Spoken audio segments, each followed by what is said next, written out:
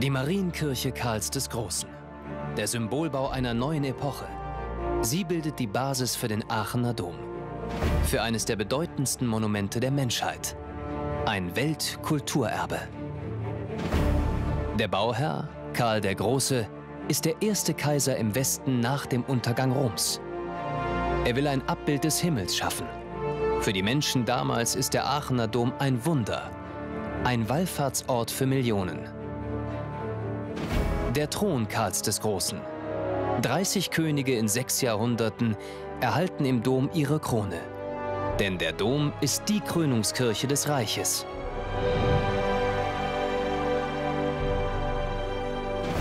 Die Chorhalle, gebaut wie ein riesiger gotischer Reliquienschrein. Für die Aachener Heiligtümer und die Gebeine Karls des Großen. Mit dem Aachener Dom beginnt die Geschichte Europas.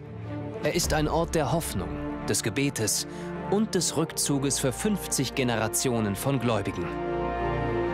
Er übersteht alle Katastrophen.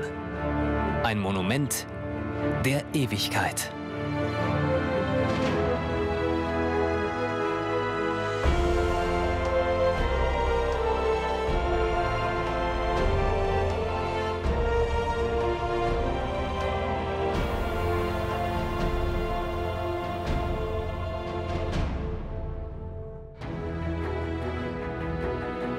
Anflug auf ein Weltwunder. In ihrer Epoche vor rund 1200 Jahren ist die Marienkirche Karls des Großen in Aachen eines der spektakulärsten Monumente Europas. Ein achteckiger Kuppelbau, das Oktogon. Im frühen Mittelalter reinste Hightech. Das Vermächtnis Karls des Großen, des ersten europäischen Kaisers nach dem Untergang Roms. Karls architektonisches Ausrufezeichen. Ich habe es geschafft. Es gibt ein neues Reich. Und diese Kirche ist sein spiritueller Mittelpunkt. Dem Betrachter sollte bei diesem Anblick der Atem stocken. Und das ist Karl und seinen Baumeistern wirklich gelungen. Im 5. Jahrhundert geht das kaiserliche Rom im Westen unter. Der Untergang der Antike. Doch Aachen besitzt jetzt etwas ganz Besonderes. Thermalquellen. Und die sind in Aachen ergiebiger und heißer als sonst wo in Mitteleuropa. Um die 72 Grad. Dafür lieben die Römer Aachen. Sie errichten Thermalbäder. Einen marmorstrotzenden antiken Badeort. Doch nach dem Untergang des Römischen Reiches verfallen die Prachtbauten. Die Wildnis erobert sie zurück. Große Teile des antiken Wissens gehen nach und nach verloren. Zwischen den Prunkbauten weiden Schafe. Und die antiken Großbauten dienen als Steinbrüche. Als sich Karl im 8. Jahrhundert anschickt, sein Projekt eines riesigen Palastes anzugehen, wird voraussichtlich niemand in unmittelbarer Nähe Aachens das Know-how für ein solches Großbauwerk gehabt haben.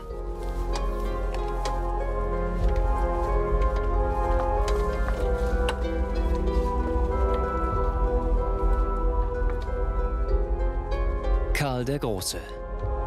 Der erste Kaiser nach den römischen Cäsaren. Sein fränkisches Reich umfasst halb Europa. Als 50-Jähriger stellt er sich einer riesigen Herausforderung. Der Wanderkaiser, der mit seinem Riesengefolge von einem Palast zum nächsten zieht, will sesshaft werden. Er will eine Riesenpfalz bauen. Pfalz kommt von Pallas, römisch Palast. Eine Anlage, die ihm und seinem Gefolge dauerhaft eine Heimat ist.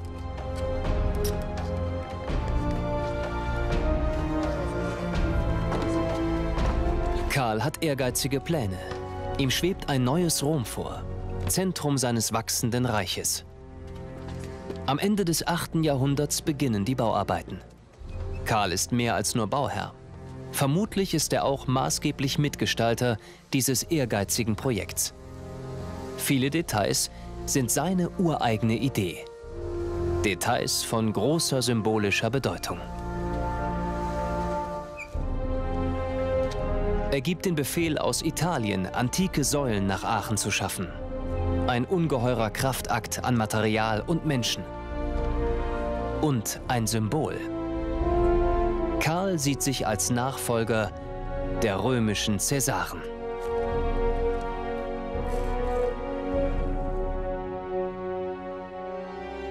Säulen aus dem kaiserlichen Ravenna tragen die Kirche Karls. Eine Botschaft. Denn tatsächlich haben sie keine statische Bedeutung. Sie sind nur Dekoration. Das Oktogon ist das Herz der kaiserlichen Pfalzanlage. Dass sich der große Kaiser ausgerechnet für diese Form entschieden hat, war kein modischer Einfall. Der achteckige Stern steht als Symbol für Vollkommenheit. Und das ist das, was Karl will. Ein Bauwerk von größter Vollkommenheit und Perfektion schaffen.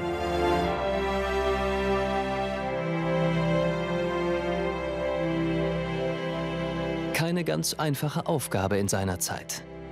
Denn das Wissen der alten Römer ist im Westen fast vollständig vergessen.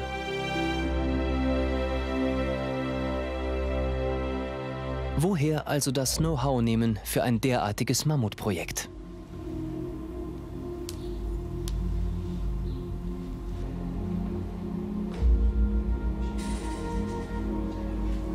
Künstler und Ingenieur in Personalunion. Odo von Metz, Karls Baumeister, der Kopf des Unternehmens. Er ist von Anfang an dabei, erinnert sich oft an den Beginn der Arbeiten, die unlösbar scheinenden Probleme. Die größte Herausforderung dürfte das Völkergemisch auf seiner Baustelle gewesen sein. Die Kommunikation mit Experten aus allen Teilen der bekannten Welt.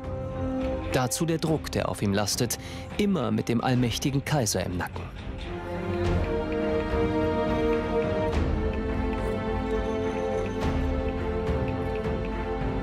Odo kennt jedes Detail. Er ist Baumeister, Statiker und Manager in einer Person. Seit dem Winter 794 bewohnt Karl die Pfalz dauerhaft. Sein Biograf beschreibt Karl als freundlich und gerecht als Idealbeispiel für den guten Herrscher. Doch Karl würde kein Weltreich regieren, wenn ihn nicht ein unbeugsamer Wille treiben würde. Und mit seiner Pfalz will er etwas Einmaliges in seiner Epoche schaffen.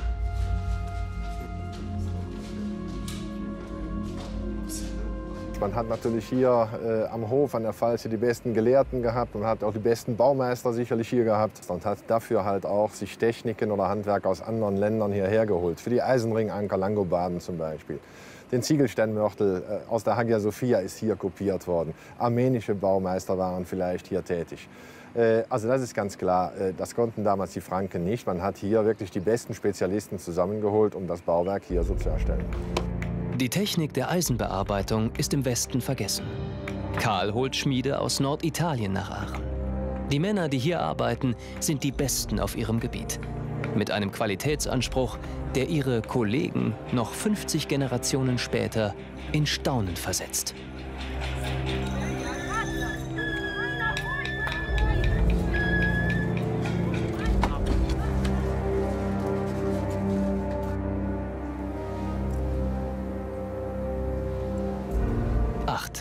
Die Zahl für Vollkommenheit und den Tag der Auferstehung.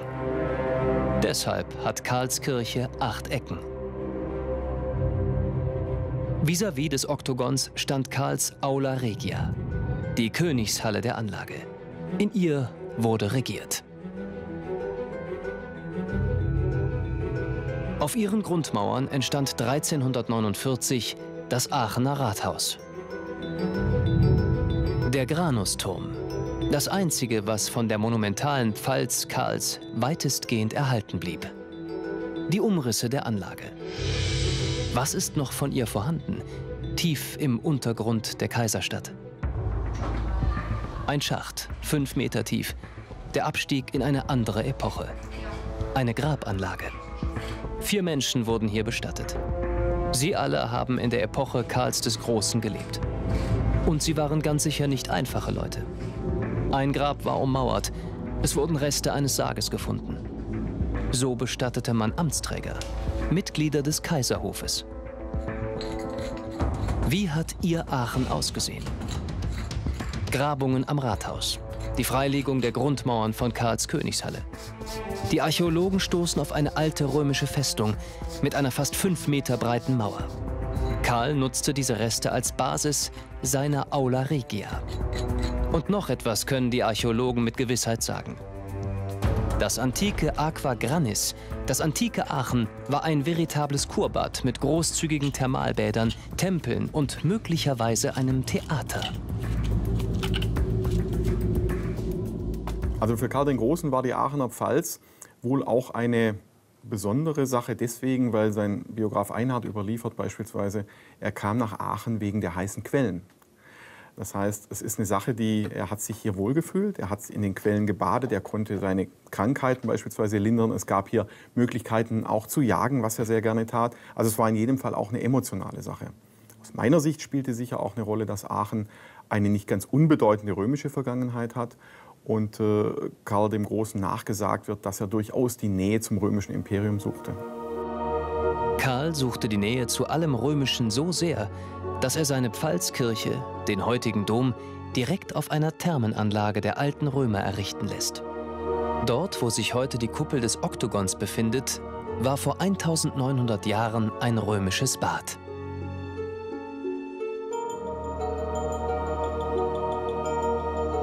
Spurensuche in den Eingeweiden des Domes.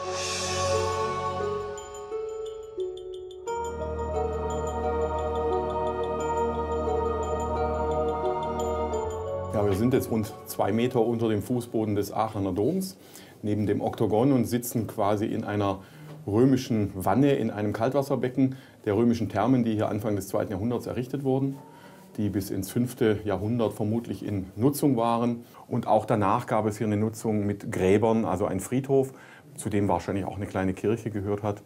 Und äh, ja, erst im 8. Jahrhundert ist dann hier die Kirche darüber entstanden. Karls Kirchenbau muss seinen Zeitgenossen als ein wahres Wunderwerk erschienen sein. Faszinierend, rätselhaft und sicherlich auch furchteinflößend.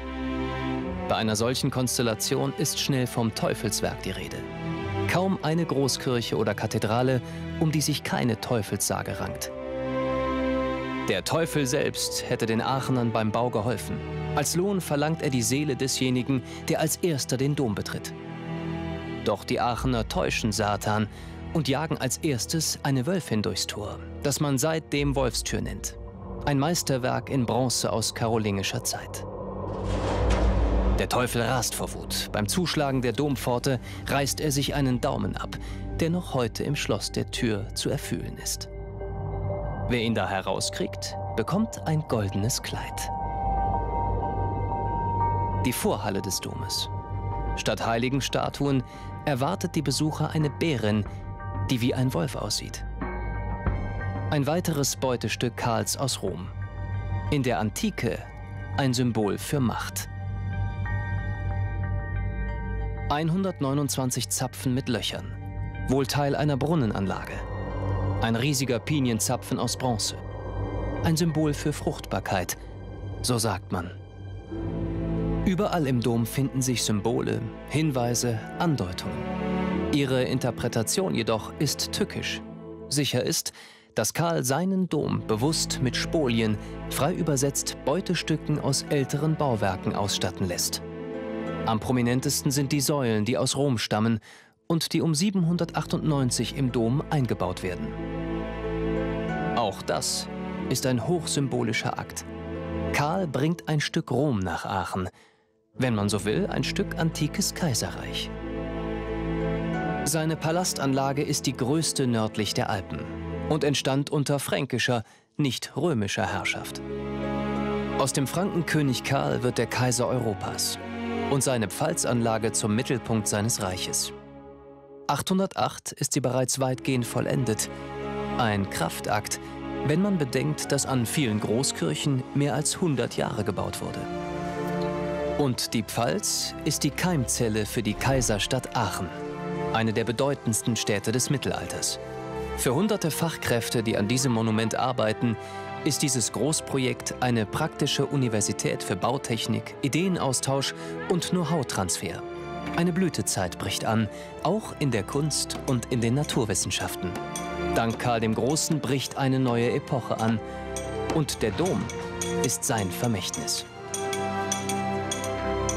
Karl lässt seine neue gewaltige Kirche um 800 der Gottesmutter Maria weihen. Sie hüten Karls Erbe, die Dombaumeister und die Handwerker an ihrer Seite. Es mag sich seltsam anhören, aber Aachen ist Erdbebengebiet. Erschütterungen sind an der Tagesordnung. Risse in der Dachkonstruktion sind die Folge. Die größte Gefahr ist Regenwasser, infolge Feuchtigkeit und Fäulnis. Der Dombaumeister lässt den Putz aus karolingischer Zeit auf Feuchtigkeit prüfen. Eindrucksvoll, wenn man sich vorstellt, dass er von Maurern gemischt wurde, die vor mehr als einem Jahrtausend lebten.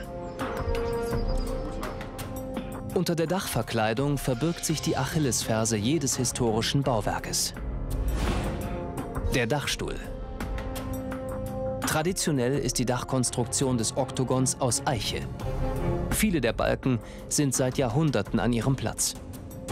Auf einigen von ihnen hat eine der größten Katastrophen in der Geschichte der Stadt Aachen Spuren hinterlassen.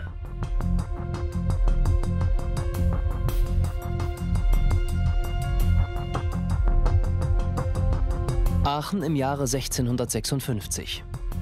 Am 2. Mai schüttet Bäcker Peter Maff Holzkohle auf dem Speicher seines Hauses aus. Einige Stücke glühen noch. Sein Dachstuhl geht in Flammen auf.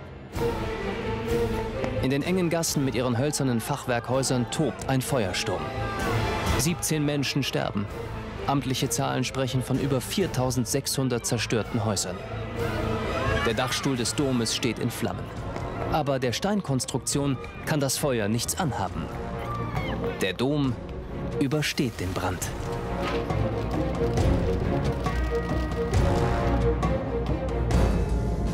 In der Nacht des 14. Juli 1943 scheint es um die Existenz des Aachener Domes geschehen. Mehr als 200 britische Bomber nähern sich der Stadt. Sie werfen über 60 Tonnen an Brand- und Sprengbomben ab. Sechs Brandbomben explodieren im Dom. Doch die Domwache zumeist Jugendliche, die für das Bauwerk ihr Leben riskieren, können die Brandherde löschen.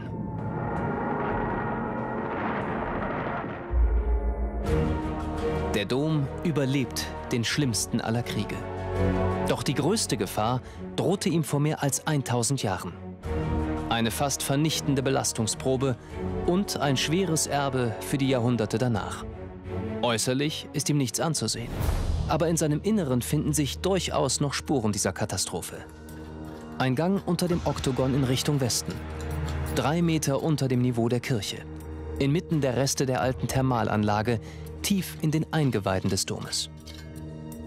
Unter losem Schutt, dem Staub der Jahrhunderte, werden die Archäologen fündig.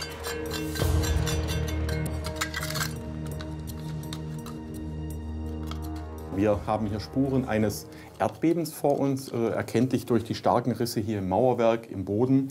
Ähm, dieses Erdbeben ist äh, in Deckung zu bringen mit einer schriftlichen Überlieferung der karolingischen Reichsannalen aus dem Jahr 803, wo für Aachen-Pfalz das Erdbeben überliefert ist, bei dem es auch Tote gegeben hat. Die Mauerrisse zeigen, dass es ein Erdbeben war, was sehr stark war.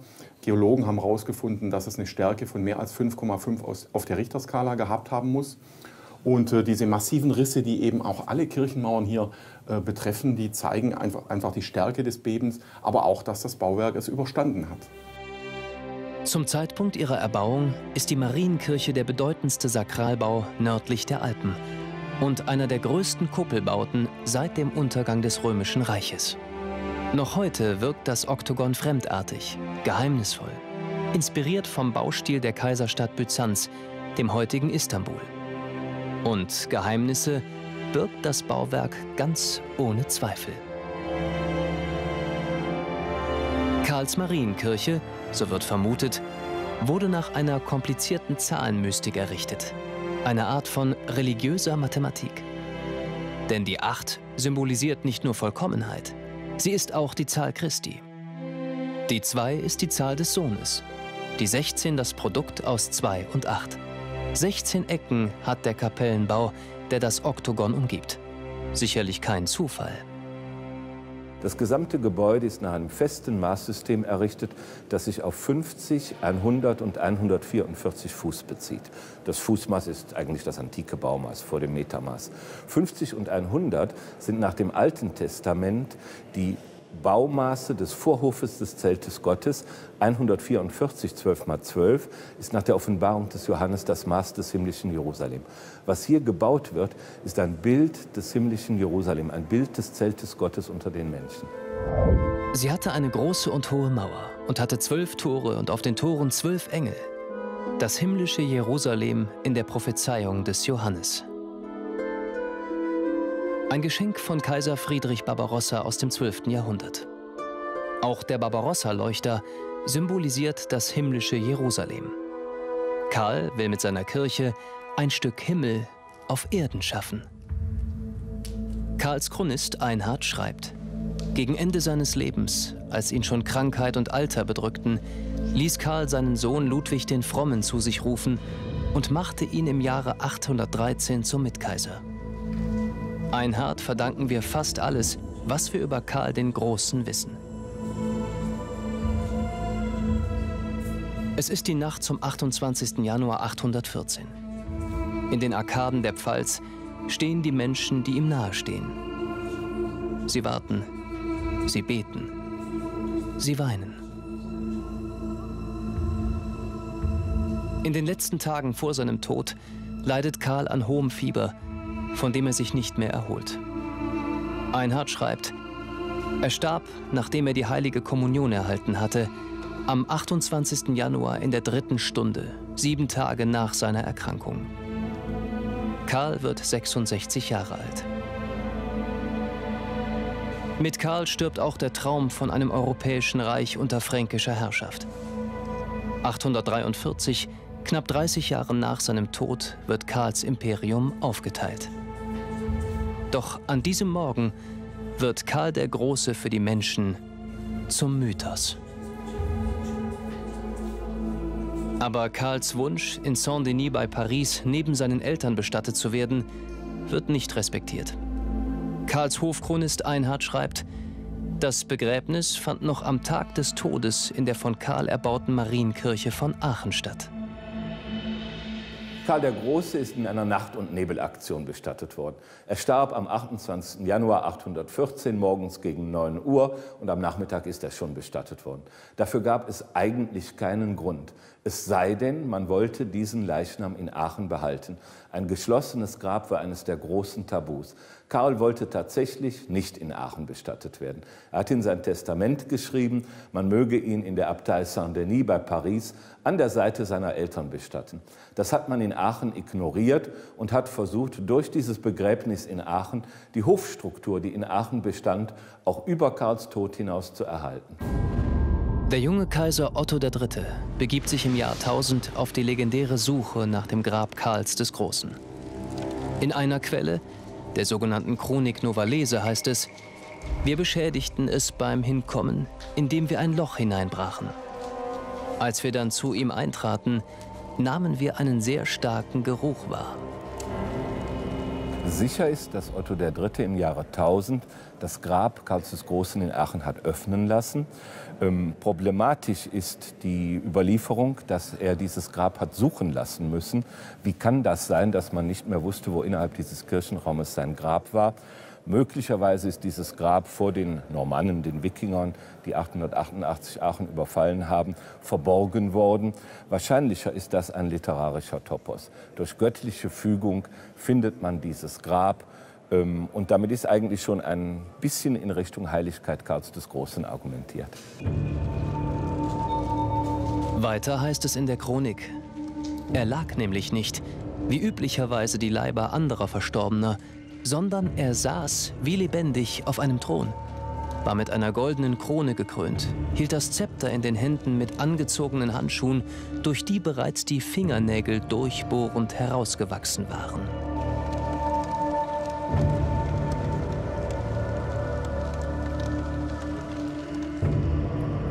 Ottos Besuch bei Karl wird zu einer der großen Karl-Legenden, die viele Künstler inspirieren. 1910. Der Archäologe Erich Schmidt begibt sich auf die Suche nach dem Grab Karls des Großen. In vier Jahren wird eine Fläche von mehr als 5000 Quadratmetern erfasst. In der Vorhalle des Domes stoßen die Archäologen auf zahllose Skelette. Doch am Ende entpuppen sich die Funde als Grablegungen aus dem späten Mittelalter. Die Vorhalle des Aachener Domes. Bereits 1980 hatte der frühere Dombaumeister Leo Hugot die These vertreten, dass sich hier Karls Grab befinden würde. 2007, fast 100 Jahre nach Erich Schmidt, startet hier die bisher gründlichste Suche nach dem sagenumwobenen Grab. Bisher unveröffentlichtes Bildmaterial der archäologischen Kampagne dokumentiert eine Fülle von Gräbern. Die Archäologen datieren sie auf das 12. und 13. Jahrhundert. Skelette von mehr als 100 Menschen. In einer Kirche, nahe den Heiligen begraben zu sein, war im Mittelalter so etwas wie ein Garant für das Himmelreich. Doch der Platz war knapp. Man hat die Toten in der Vorhalle regelrecht gestapelt. Keine Spur vom Grab Karls des Großen. Karls Chronist Einhard berichtet, dass er in seiner Kirche beigesetzt wurde. Doch was genau versteht Einhard darunter? Denn, so die Archäologen, vielleicht wurde Karl ja außerhalb des Kirchenbaus im Atrium bestattet. Denn das Atrium könnte für Karls Zeitgenossen zum Kirchenareal dazugehört haben. Wichtig ist die sorgfältige und minutiöse Auswertung der Grabfunde. Denn anders als in den Legenden wurde Karl ganz sicher im Erdreich bestattet. Eine Gruft hat es nie gegeben. Also wenn das Grab Karls des Großen tatsächlich ein Erdgrab war, dann gehe ich davon aus, man würde es, wenn man es fände, überhaupt nicht erkennen als solches. Er wurde am Tag seines Todes bestattet. Das heißt, welchen Bau, welchen Grabbau kann man an einem Tag denn errichten, der auch dauerhafte Spuren im Boden hinterlässt? Äh, außerdem ist er ja rausgenommen worden und mit ihm auch sein Sarkophag, der Proserpina-Sarkophag. Man müsste also das unverschämte Glück haben, in einem Loch, in einer Grube einen Splitter zu finden dieses Sarkophages, der dann auch noch anpasst. Das wäre ein Beweis. Ansonsten würden wir das Grab nicht erkennen, selbst wenn wir es vor uns hätten. Der Proserpina-Sarkophag, benannt nach der Göttin der Unterwelt. Ein antikes Meisterwerk. In ihm wurde Karl vermutlich bestattet. Das Relief zeigt die Entführung der Proserpina durch den Gott der Unterwelt. Der Sarkophag symbolisiert das Römische Reich, die kirchliche Bestattung das Christentum. Karl, christlicher Kaiser und Nachfolger der römischen Cäsaren. Karl findet im Grab keine Ruhe. Im Dezember 1165 lässt Kaiser Barbarossa den Proserpiner Sarkophag öffnen. Er will Karl zum Heiligen erklären lassen. Im Mittelalter wurden dazu die Gebeine öffentlich ausgestellt. Der Gegenpapst Paschalis III. gibt dem Kaiser seinen Segen. Der offizielle Papst Alexander III. verweigert ihn. 1176 kommt es zum Kompromiss. Die Kirche duldet die Verehrung Karls als Seligen, zumindest in den Städten Aachen und Osnabrück.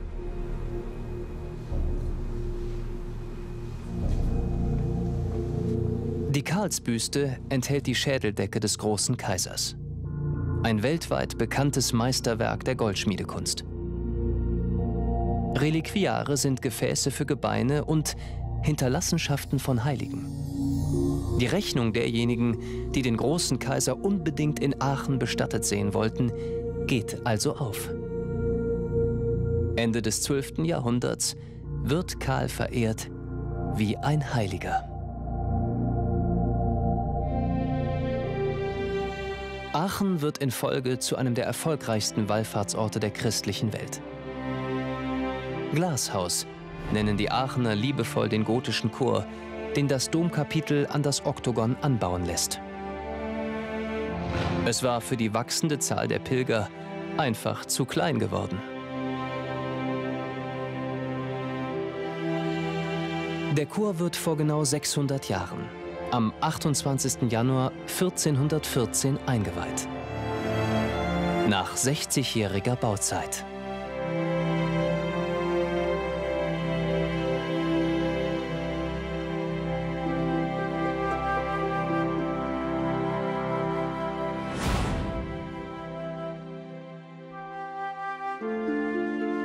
Eintausend Quadratmeter Glasfläche machen aus der Chorhalle ein gläsernes Haus oder ein gewaltiges Reliquiar. Ein Bauwerk errichtet zur Aufbewahrung der größten Heiligtümer des Domes. Der Karlsschrein, gestaltet wie eine Kirche aus vergoldetem Silber. 1215 wird er vollendet und seit dieser Zeit werden in ihm die Gebeine Karls des Großen aufbewahrt. Die vordere Giebelseite zeigt thronend Karl den Großen, zu seiner Rechten stehend Papst Leo III., zur Linken Erzbischof Turpin. Karl überragt sie alle. Eine klare politische Botschaft über das Ranking zwischen Kaiser und Papst.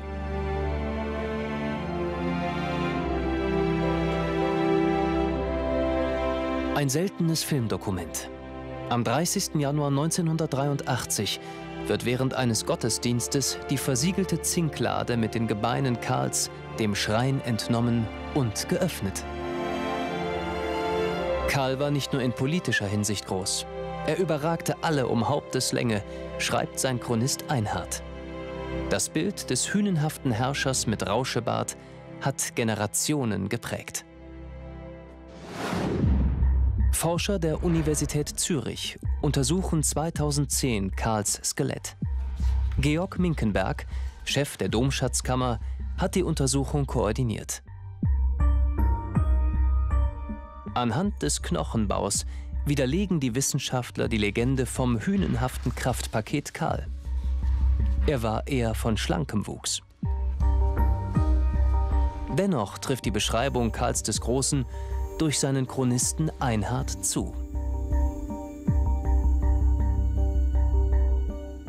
Dieser Mensch hat keinerlei Mangelerscheinungen gehabt, er hat gut gelebt, er ist nicht so sehr viel geritten, das zeigt der Muskelansatz an den Beinen, wie wir das erwarten würden, er ist vielleicht doch eher gefahren worden. Kurz gesagt, er war 1,85 Meter groß, das würde heute 1,95 Meter entsprechen. Er beragte damit die meisten Menschen um Haupteslänge, wie Einhard auch schreibt. All das spricht dafür, die Gebeine Karls des Großen in Aachen sind echt.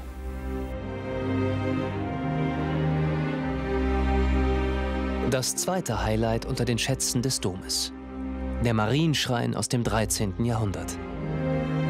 Wie der Karlsschrein, ein Meisterwerk gotischer Goldschmiedekunst. Doch was den Schrein vor allem für die Menschen im Mittelalter so unfassbar wertvoll macht, sind die Reliquien, die er enthält – die großen Heiligtümer des Aachener Domes. Die legendären Windeln und das Lendentuch Jesu, das Kleid von Maria und das Enthauptungstuch von Johannes dem Täufer. Diese vier Reliquien sind die Hauptdarsteller eines religiösen Festes, das im 9. Jahrhundert zum ersten Mal schriftlich erwähnt wird.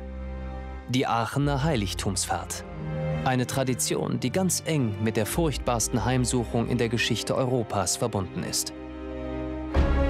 Aachen 1349. Es gibt keine Abwasserkanäle, dafür Schlamm, Dreck, Exkremente. Ein Paradies für Ungeziefer. Vor allem die Ratten sind eine Plage des Mittelalters. Sie übertragen die Erreger der Pest. Der schwarze Tod kommt auch nach Aachen und bringt tausendfaches Leid. Jeder Dritte stirbt. Die Menschen wissen nichts von Krankheitserregern. Sie glauben, Gott bestrafe sie für ihre Sünden.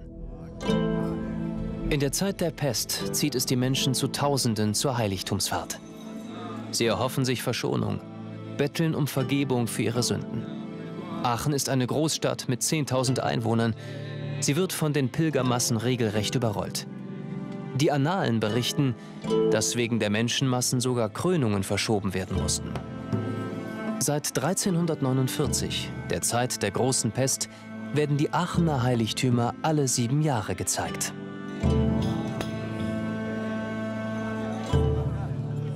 Aachen 1937. Die Nationalsozialisten kontrollieren das gesamte öffentliche Leben in Deutschland. Trotz aller Störversuche der Nazis kommen 800.000 Pilger nach Aachen, mehr als jemals zuvor. In dieser dunklen Phase der deutschen Geschichte wird die Heiligtumsfahrt zum Statement gegen die Machthaber. Diese Heiligtumsfahrt geht als die Wallfahrt des stummen Protests in die Geschichte ein.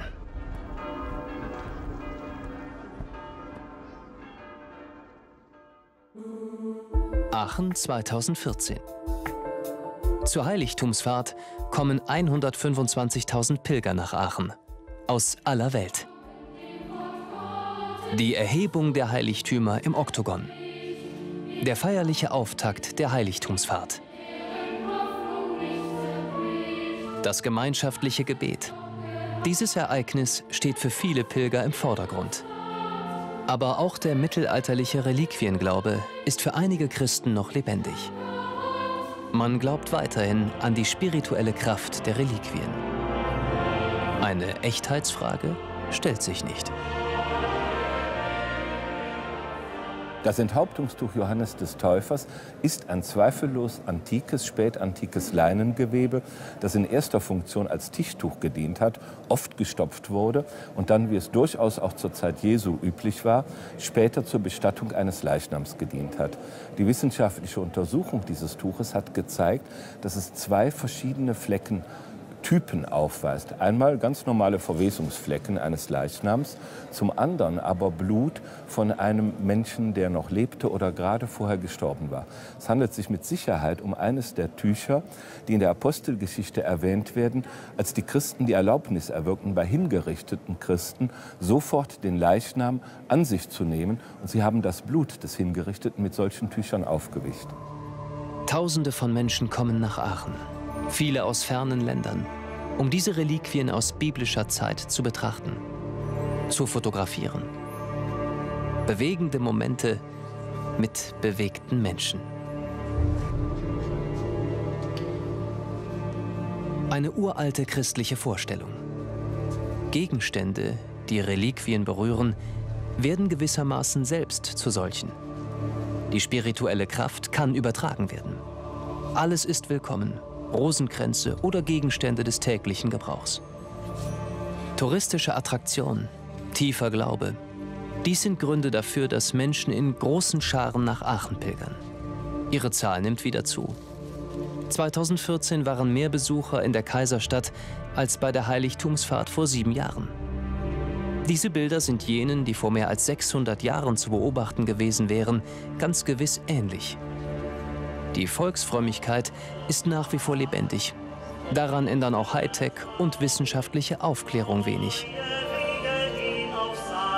Die Faszination des gemeinsamen Events, des gemeinsamen Gebets, das Gefühl, unter Gleichgesinnten zu sein, egal aus welchem Teil der Erde sie stammen, ist für die meisten die Motivation zu kommen. Beim Pilgergottesdienst auf dem Katschhof im Schatten des Domes werden die vier Aachener Heiligtümer den Versammelten feierlich präsentiert.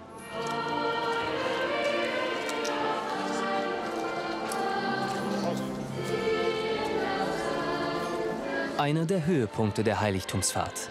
Die Einzugsprozession mit dem Marienkleid. Das Gewand, das Maria der Legende nach in der heiligen Nacht trug. Ein Mythos, der bis heute lebendig ist.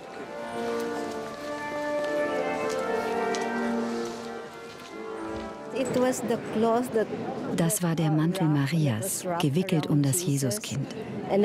Und ich habe zur Mutter Maria gebetet, dass sie ihren Schutzmantel auch um meine Kinder legt. Deshalb war ich so bewegt, weil ich an meine Kinder gedacht habe.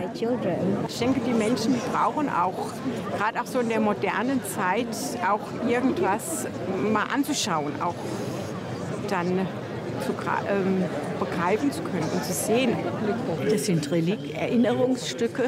Ob das nun genau Maria angehabt hat, das ist, denke ich mal, unwichtig. Es erinnert uns aber an das, was alles damals geschehen ist. Und das ist für uns wichtig. Und das erleben wir, wir ganz intensiv, dadurch, dass wir die Tücher und das Kleid sehen. Die Windeln Jesu. Karl der Große soll sie als Geschenk aus Konstantinopel erhalten haben das Lendentuch, das Jesus am Kreuz getragen haben soll. Das legendäre Enthauptungstuch mit dem Blut Johannes des Täufers. Die Aachener Heiligtümer sind unlösbar mit dem Aachener Dom verbunden. Doch nicht nur die einfachen Gläubigen pilgern nach Aachen, sondern auch die Mächtigen ihrer Zeit. Rex ut aquis grani Carlorum sedi residit, ordine legitimo Germania prorsus obedit. Sobald der König zu Aachen auf dem karolingischen Thron Platz genommen hat, gehorcht ihm Deutschland willig nach altem Recht. Der Karlsthron zu Aachen ist die Verkörperung des deutschen Königtums. Eine Institution. Otto der Große ist der erste Herrscher, der sich auf den Thron des großen Karls setzt und damit sozusagen legitimiert wird. Das war im Jahre 936. Ferdinand I. im Jahre 1531 ist der letzte Potentat. In 600 Jahren haben 30 Könige den Aachener Königsthron bestiegen. Denn nur wer auf diesem Stuhl saß, konnte in Rom die Kaiserwürde erlangen.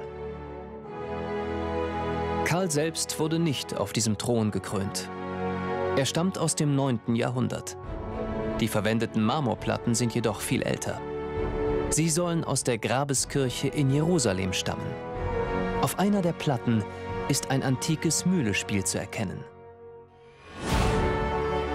Die Platten des Thrones sollen aus der Palasttreppe Pontius Pilatus stammen. Stufen, auf denen Jesus schritt. Eine Vorstellung aus dem Mittelalter. Seine antike Herkunft seine Position hoch erhoben auf der Empore des Oktogons, all das sind symbolische Botschaften Karls des Großen. Vielleicht sein Hinweis auf den Thron König Salomons, dem urchristlichen König. Karl selbst sah sich als Gottes Statthalter auf Erden, ein universaler Herrscheranspruch. Generationen von Herrschern wurden im Chor des Domes gesalbt und gekrönt.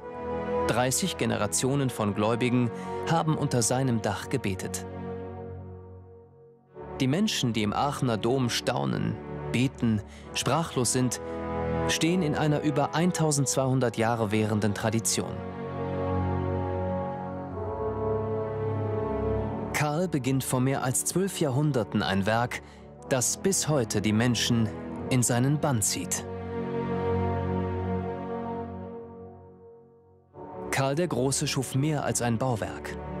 Er schuf ein spirituelles Monument, das bis heute und hoffentlich noch in Zukunft bestehen bleibt. Wir können es noch immer nicht in all seiner Tiefe ergründen. Und viele Botschaften Karls des Großen werden uns immer verborgen bleiben. Aber auch das ist ein Teil des Geheimnisses und des Zaubers dieses einzigartigen Bauwerkes.